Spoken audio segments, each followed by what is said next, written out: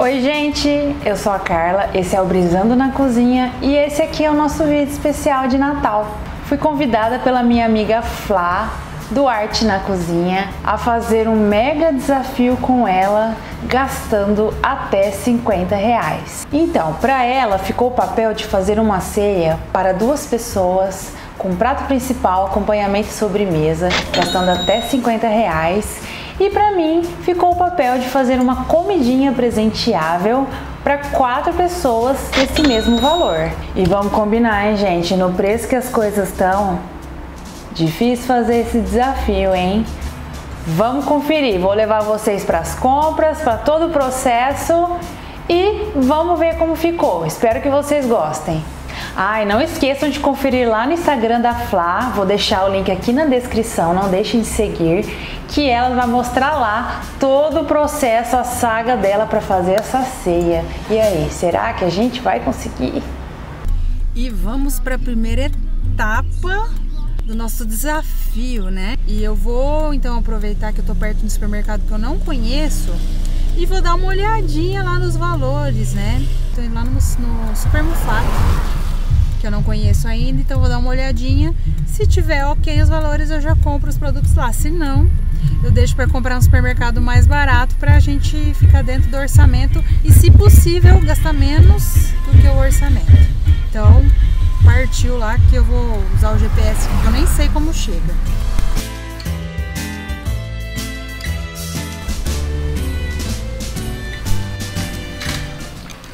pessoa vem para comprar coisa pro desafio, mas sempre, nunca sai ilesa, né? Sempre compra mais coisa. Já aproveitei que é uma promoção para pegar café, que eu também ia ter que comprar porque acabou lá em casa. E bom, já aproveito para dar aquela volta no mercado, né? Aquela passeada, mercado novo ainda. Se o mercado que eu já conheço, eu passei, imagino que eu não conheço. Ah, eu não contei ainda o que, que eu pretendo fazer, né? É, de receita, mas eu só vou contar depois que eu tiver comprado tudo, que aí eu mostro pra vocês os ingredientes e aí conto o que vou fazer. Então, por enquanto, fica esse mistério. O que, que eu vou fazer? Opa, cheguei na ala que eu preciso, hein? Tô vendo aqui que os chocolates têm alguns na promoção. Ó, vamos, vamos comparar qual deles está num preço melhor. Vou ficar de olho aqui e já conto pra vocês. Opa, melhorou agora, hein? Mas vocês repararam o tanto que os, as barras diminuíram? Pra vocês terem uma ideia, sem dar spoiler da receita, a receita que eu vou fazer pede 340 gramas de chocolate. Na época que eu fiz, estava escrito na receita duas barras. Hoje, para eu conseguir essa quantidade, eu preciso comprar quatro barras. Então vou levar dessa daqui, ó, que tá R$3,98 cada uma. Pra garantir, vou levar cinco.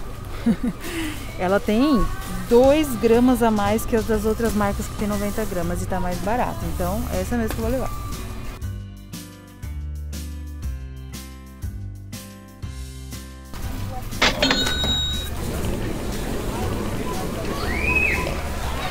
Cheguei no outro ingrediente que eu preciso e, gente, olha o preço que tá.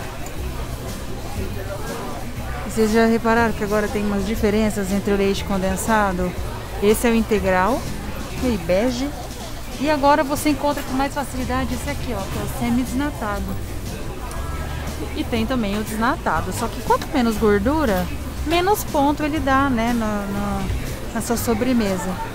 Mas, olha só, tem marca boa aqui, ó, que é a Piracanjuba, por R$4,99. Então, é essa que eu vou levar. E aí eu já vou somando aqui no vídeo pra vocês o valor que tá dando. Pra gente não passar do nosso orçamento, né? Então, menos um. Um outro item que a gente vai precisar pro nosso presente, porque a gente precisa entregar esse presente. Para entregar precisa de embalagem, né? Eu pensei em fazer marmitinhas. Porém, as que tem aqui são aquelas 500 ml. Então eu não vou comprar aqui não, vou deixar para comprar em outro lugar, porque ainda vai faltar ingrediente que eu não estou encontrando aqui. Então eu deixo para comprar a embalagem e o restante em outro lugar. Segundo dia de busca dos nossos produtinhos que vamos precisar. Tô aqui no supermercado e não tenho a, a ilusão de que eu vou encontrar tudo que eu preciso aqui. Mas eu tava passando aqui perto para variar e vou procurar a embalagem que eu não achei ontem lá no outro supermercado. Então vou já procurar aqui, senão eu já caço uma loja de embalagem mesmo, que já deve ser, até ser mais barata, né? Mas vou parar aqui e vamos ver se tem. Só porque eu já tinha me convencido de que eu ia levar o, menor, o maior, achei um menor aqui. Eu comprei mais umas coisinhas, eu acabei não filmando dentro da loja, que eu fiquei com vergonha de ligar a câmera. Mas ó, vou mostrar aqui pra vocês. Cinco reais de amêndoas. Essa aqui é crua. E cinco reais também de castanha de caju. Beleza? Contabilizando então aí mais um, duas, dois itens. Bom pessoal, então aqui estão as nossas compras até agora para o nosso desafio de Natal. E ó, não foi muita coisa que eu comprei não, né? Mas espero que dê para presentear quatro pessoas, ó. Foram cinco barras de chocolate Hershey's, uma caixinha de leite condensado, uma embalagem de marmitinha, essa aqui é de 220 ml, vem 10 unidades. Comprei também castanha de caju, 111 e aqui, opa, amêndoa. São essas as comprinhas. Até agora eu gastei esse valor aí, mas eu ainda tenho que terminar de comprar a parte da embalagem, né? Pra ficar bonitinho para presentear. Mas o principal já tá aqui. Para começar, gente, eu vou colocar nossas castanhas aqui frigideira. Vou dar uma leve tostadinha nelas. Ali no fogo mesmo, que elas vieram cruas. Deixar aqui no fogo baixo. Aliás, eu mostrei todos os ingredientes e não falei o que, que a gente vai fazer, não é verdade? Nós vamos fazer um food. O food é uma receita que eu já tenho no blog faz anos. E é um docinho super gostoso, super simples, super fácil de fazer. E eu nem sei por que, que a gente não faz tanto, mas é uma delícia. Então, vou deixar aqui também o link da receita aqui no blog. Tem algumas diferencinhas, mas muito poucas da que eu vou fazer hoje mas o, o processo é o mesmo, tá? Então, para começar, enquanto nossa castanha tá aqui, ó, de vez em quando eu dou uma mexidinha nelas, eu vou abrindo aqui os pacotinhos de chocolate. Abrindo aqui o chocolatinho e dando uma leve picada nele. Hoje eu estou usando aqui 5 barras de 92 gramas. Nossas amêndoas e castanhas de caju já estão começando a soltar aquele cheirinho gostoso. A gente vai dando sempre uma mexida para não queimar. Já piquei todo o nosso chocolate aqui numa tigela que possa sair no micro-ondas. E já deixei separado também, ó, uma travessa de vidro e eu forrei com esse papel aqui, ó, que é um papel antiaderente. Esse papel aqui, ó. Você pode usar papel manteiga também, aí você tem que dar uma untadinha nele, tá? Mas esse aqui é uma beleza porque não gruda nada. Então eu sugiro que você coloque algum tipo de papel ou plástico aqui para depois facilitar na hora de desenformar.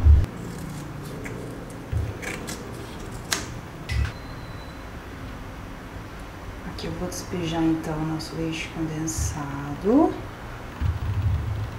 E vocês vão achar estranho, mas duas colheres de sopa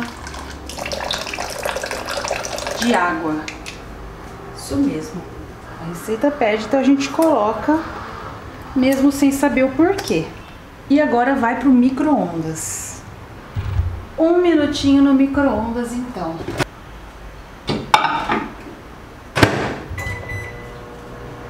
Enquanto tá lá no micro-ondas, vou pegar aqui as nossas amêndoas e castanhas e vou só pegar essas que estão aqui assim um pouquinho maiores dar uma quebradinha de leve, sabe? Mas não muito não.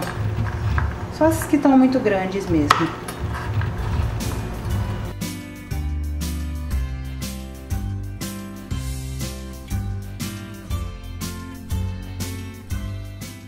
Tirei do micro-ondas a nossa misturinha. Ficou um minuto. A gente agora vai mexer, colocar lá mais 30 segundinhos para esse chocolate terminar de derreter.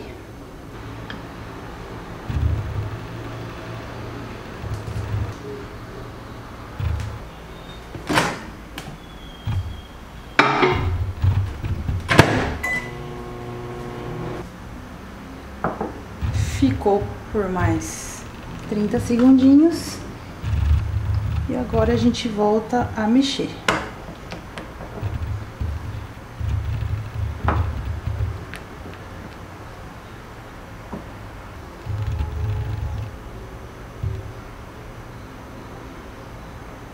Agora eu vou colocar as nossas amêndoas e castanhas de caju.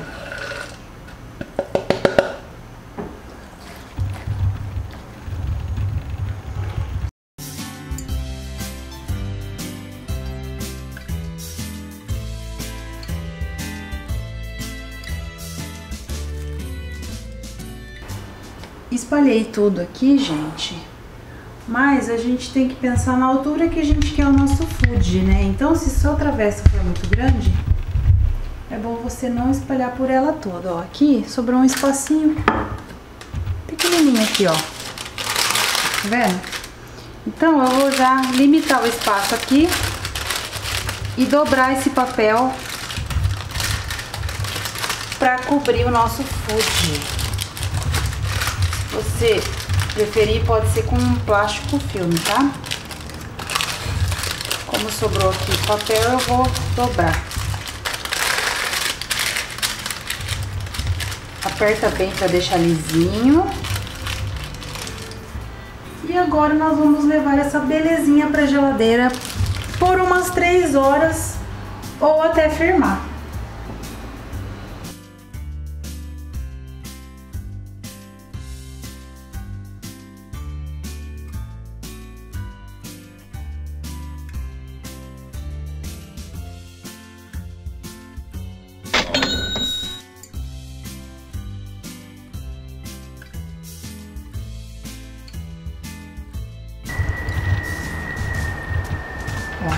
Uma assessoria aqui ajudando com a embalagem. Comprei essa fita aqui. E aquela fininha que tá na mão dela aqui, aqui. As duas fitas juntas deram nove e uns quebrados.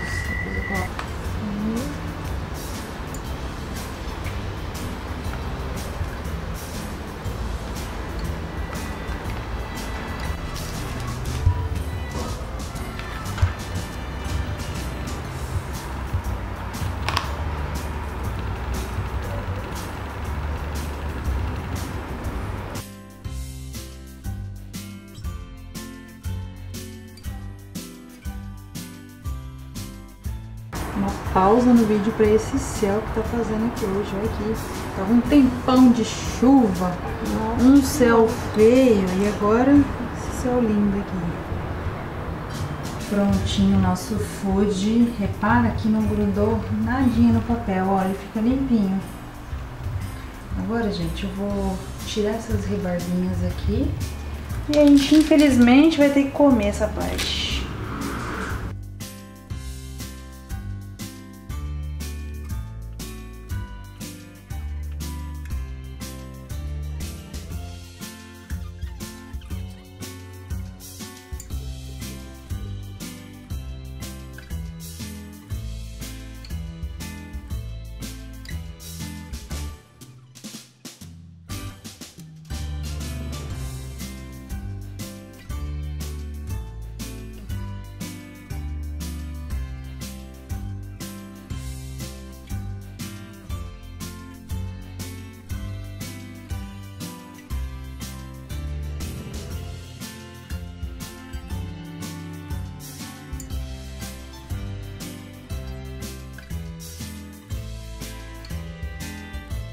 Tentei cortar mais ou menos aqui, ó. Cortei quadradinhos de 3 por 3 centímetros. E eita, olha só que tristeza, sobrou umas rebarbas aqui, ó. A gente vai ser obrigado a comer.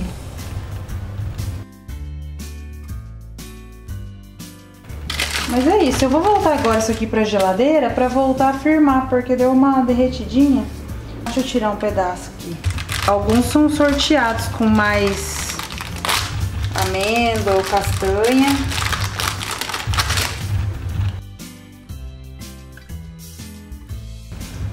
Provar uma rebarbinha, né?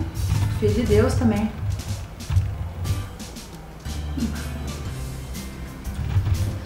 Tem como ficar ruim, né?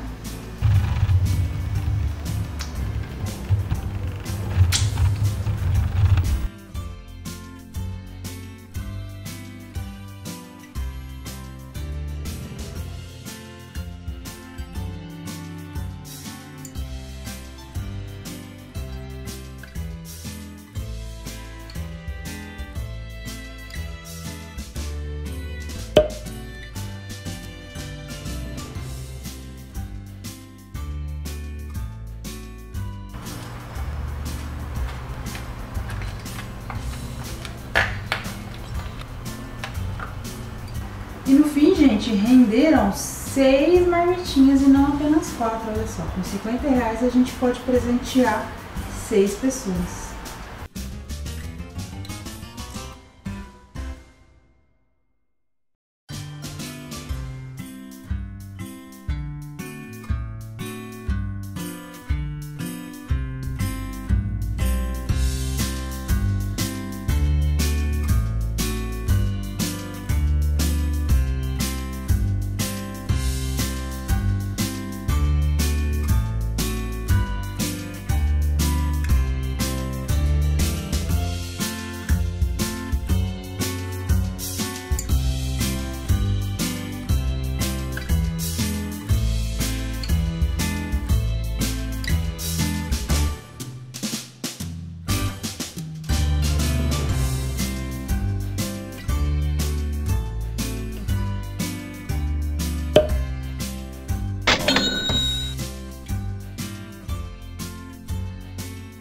Gente, vocês viram que a gente é capaz de fazer muito com pouca coisa, né? E olha, não é fácil, é lógico, ainda mais no preço que as coisas estão, mas com um pouquinho de planejamento a gente consegue. No caso do nosso presente, eu comprei todos os ingredientes e também a embalagem dentro desse valor. Mas eu também dei sorte, porque eu encontrei uma promoção do chocolate, paguei R$3,48 em cada um mas eu sei que nem sempre isso pode acontecer aí com você na sua casa. Mas a dica que fica desse vídeo é: planeje. Se você não tem dinheiro para comprar embalagem, procure na sua casa um vidrinho vazio de geleia que sobrou, alguma coisa assim. Mas com planejamento você consegue fazer. É só pensar com carinho e lembre-se, gente, um presente feito com carinho, um gesto de carinho vale muito mais do que um valor alto, não é? Então é isso, é, fica aí a nossa mensagem. Espero trazer mais vídeos nesse sentido aqui para vocês, porque eu gosto muito, eu gosto muito de assistir vídeos nesse sentido. E Flá, adorei participar desse desafio com você. É, espero que venham mais por aí. E espero que vocês tenham gostado, gente. Um bom Natal para todos um bom ano novo e façam essa receita que é muito gostosa. Mesmo que não for para presentear, para fazer aí para sua família, fica a dica para vocês. Um beijão e até a próxima!